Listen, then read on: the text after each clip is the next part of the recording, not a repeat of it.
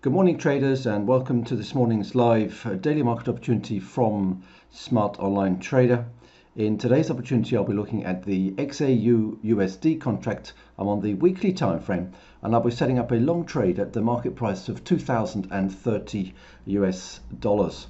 Now, as you can see from the chart, we have already had a, a trade opened, and this one uh, from a couple of weeks ago now, uh, which has come off quite nicely but the momentum is still there to the upside. And if we just try and indicate uh, what I'm seeing at least is very, very nice support of the lows here, uh, still coming up. Uh, lows being supported and looking for now the break up again to challenge the highs and off to the upside in this type of uh, fashion.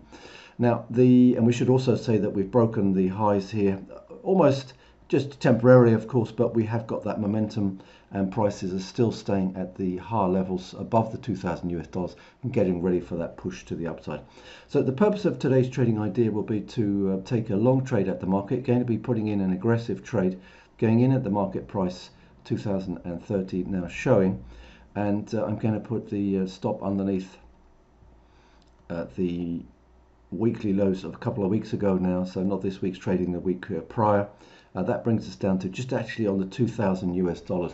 Now, if we break back down beneath the 2000 dollars and we stay down there, we close down there, uh, then I want to be out of the trade anyway. Uh, but the momentum trade is definitely to the upside, and the check sign uh, I would be putting above the most recent swing highs because when it pops, it will spike and we will go through that level there towards the upper level. it gives me around about a 1.2, 1.3 to 1 reward to risk ratio.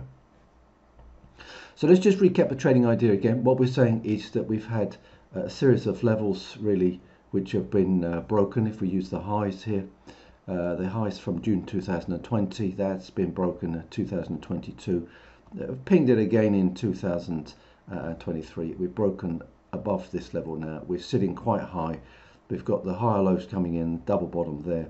Uh, just got the sense that the direction is to this side and looking for a push further to the upside. So that was the uh, trading idea for today. Hope you enjoyed that. Thanks for listening and look forward to speaking to you on the next live uh, daily market opportunity from Smart Online Trader.